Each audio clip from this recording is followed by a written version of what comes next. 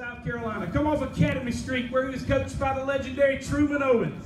Led the Red Devils to the 1960 to 1961 back-to-back state championships. Drafted in the first round by the Cleveland Indians, and when he graduated high school, both a parade All-American in football and baseball here at Clinton High School.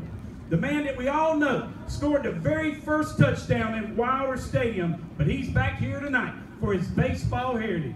He now lives in Kynard, South Carolina. Please welcome back Kynard Littleton.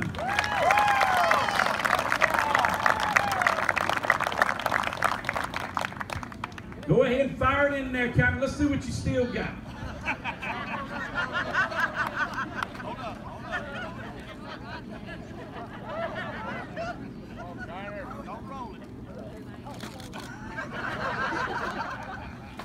Ladies and Strike!